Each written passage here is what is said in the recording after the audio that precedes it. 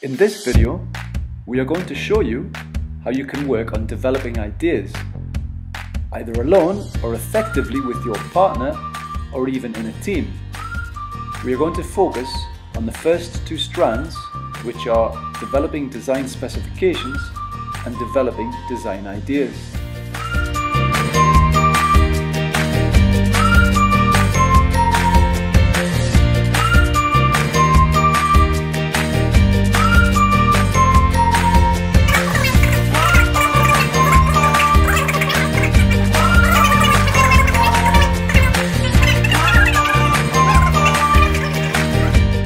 This example, we have chosen aesthetics, function, cost, materials, and user.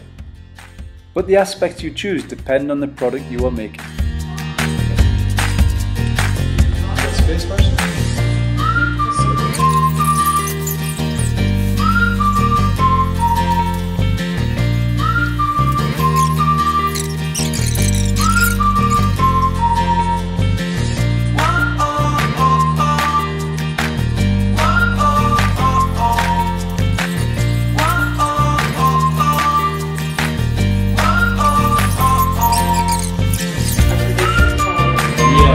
Because we can actually do that. 'cause Mine, mine would be low. Because I think do, I think, we, well, it's in a way, it would be low, medium, high, and mine would be low. So,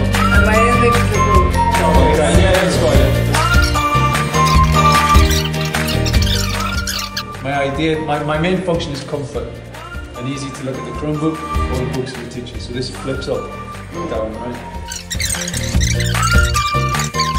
Mine, I've gone for a solution I feel would be practical if you want to have everybody in the classroom with it. So I've gone for something that would be cheap to make. It's made out of plastic. The user would be middle school students. User is for someone who is using a lot of downtime in research. So this is not for teamwork. This is for individual work. Uh, it's a very comfortable armchair with a huge backrest. I'm going to make a comment because I like this idea because we can go and look at second-hand furniture stores, find and recycle, reuse old chairs, and we can uh, put in the USB charging Right.